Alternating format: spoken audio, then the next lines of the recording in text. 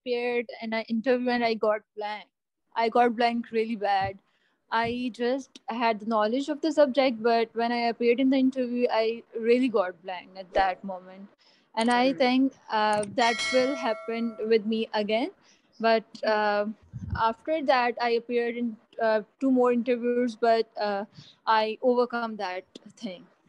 Okay, so it's the rehearsal, you know. For the very first Yeah. time, you appeared in an interview, but for the second and for the third time, it became the repetitive pattern. So yes,